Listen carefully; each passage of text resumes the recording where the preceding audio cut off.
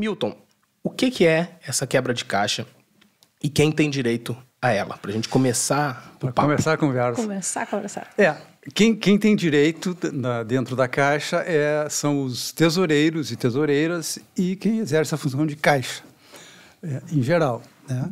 O sindicato aqui tem três ações relacionadas com os caixas, os e as caixas da caixa. Né? E, e, o que, que é o direito? É, um, é, um, é uma previsão do, do manual normativo da Caixa que previa que quem estivesse sujeito a, a, a, a, ser, a indenizar a Caixa por diferenças por diferenças no seu, no, na sua contabilidade interna lá do caixa ou do, da tesouraria, que, que teria direito a receber uma verba que gira em valores de hoje, em torno de R$ 1.500, 1.600 reais, sei lá quanto. Por mês? Por mês, por mês. Né?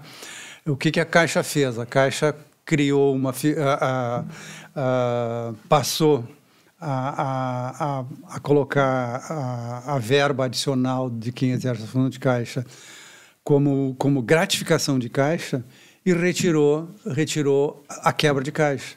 Acontece que, que esses dois institutos são completamente diferentes.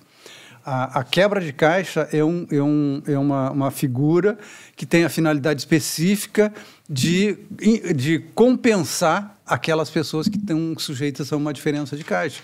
E, e quem exerceu ou exerce a função de caixa sabe que às vezes são valores vultuosos que a pessoa está sujeita a indenizar o empregador quando dá uma diferença no seu caixa. Né? Uhum. E às vezes né, isso aí acaba tendo que pagar em muitas parcelas, não sei o quê, não sei o quê. Então, a quebra de caixa tem essa finalidade. A gratificação de caixa é uma outra figura jurídica que é destinada exclusivamente para uh, ah, remunerar a, a, a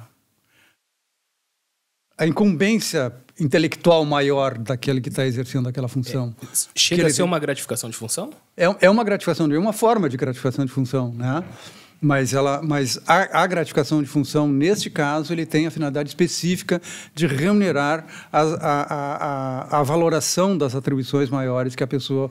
Por exemplo, uma, um técnico bancário novo né? tem determinadas atribuições que são inferiores, não, não, não valorativamente, mas que são, né, que depende de uma, de, uma, de uma concentração menor do que aquele que está exercendo uma função de caixa, que ele tem que ter. Pô, eu vivi muito isso, vendo as pessoas concentradas, tendo atender filas ali e tal, né, aquela, aquele, aquele aquele reforço intelectual que tu tem que utilizar para poder exercer aquela função.